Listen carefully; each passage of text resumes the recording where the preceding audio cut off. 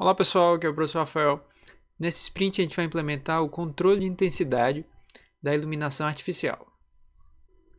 A ideia aqui é implementar um algoritmo que minimize o consumo da iluminação, diminuindo sua intensidade quando ela não for necessária. Para poder controlar a intensidade dos LEDs, a gente vai usar um sinal PWM e variando o dead cycle dele, a gente consegue aí gastar mais ou menos potência quando for necessário. E para identificar quando é necessário, a gente vai utilizar alguns sensores. O sensor de luminosidade, que a gente já implementou, para perceber a quantidade de iluminação natural. O sensor de carros, para identificar se tem carros passando. E a gente vai incluir agora um sensor de pessoas, que é simplesmente simulado por uma chave, para identificar se tem alguém nos arredores ali do semáforo. E a regra de acionamento que eu estou propondo é a seguinte: quando for identificada que a iluminação natural for maior do que 300 lux, isso quer dizer que está de dia, então a iluminação vai ser desligada.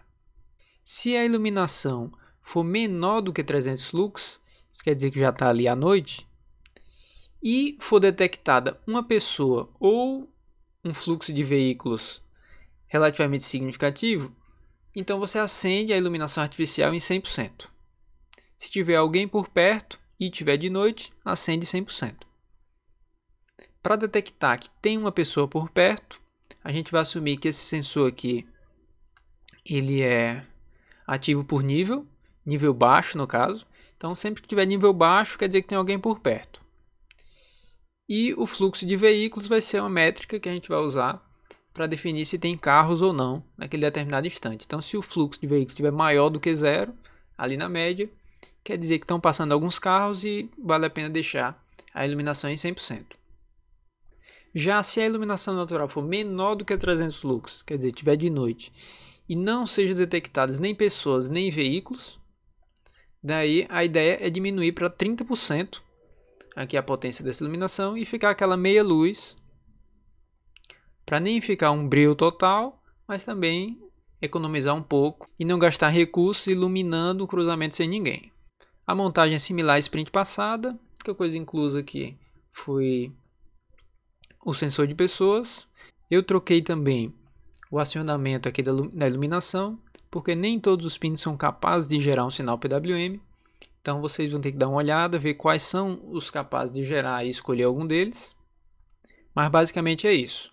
Configurar um pino para gerar um sinal PWM, conectar o sinal de controle aqui da iluminação nele e acionar de acordo com essa lógica, é, checando a iluminação natural e os sensores aqui de pessoas e de carros, conforme aqui essas três condições. O meu circuito ficou assim. Eu optei por gerar um sinal PWM aqui de 244 Hz. Fica a critério de vocês. É bom escolher não tão alto esse valor, porque quanto mais alto, maior o consumo. Porém, se for muito baixo, você vai perceber aqui a iluminação piscando. Achei que 244 Hz era um valor razoável. E coloquei aqui também um osciloscópio para a gente poder visualizar aqui o formato de onda do sinal de controle.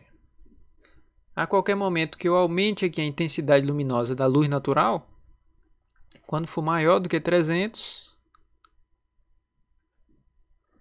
vocês podem ver que a iluminação desligou, né? e o PWM zerou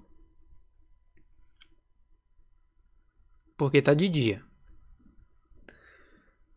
No momento que eu que anoiteça, seja seja menor aqui do 300, como não tem nem pessoas nem carros circulando nesse momento, então ele está aqui a meia luz, está em 30%.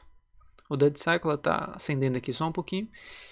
E vamos imaginar que uma pessoa está passando por lá, na hora que uma pessoa é detectada pelo sensor, né, aumenta aqui para 100%, ela acende na amplitude máxima. E caso é, um fluxo de carros aqui seja maior do que zero carros, a gente tem que esperar 5 segundos aqui para a medição acontecer. Né? Bom, ele também sobe e vai continuar aqui aceso até que a iluminação passe aqui de 300, né? Ele volta para zero. Aquelas condições que eu acabei de mostrar para vocês. Né? Se tiver pessoas ou tiver carros, ela está lá em 100. Se eu tirar os carros aqui, por exemplo, esperar uns 5 segundos para ele atualizar a medição, né? a janela de medição. Ele ainda está ativo. Quando eu tirar as pessoas também, volta para minha luz. Se eu amanhecer aqui, desliga a iluminação.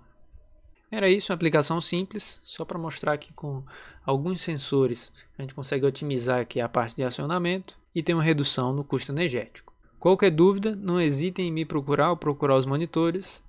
Até mais, pessoal.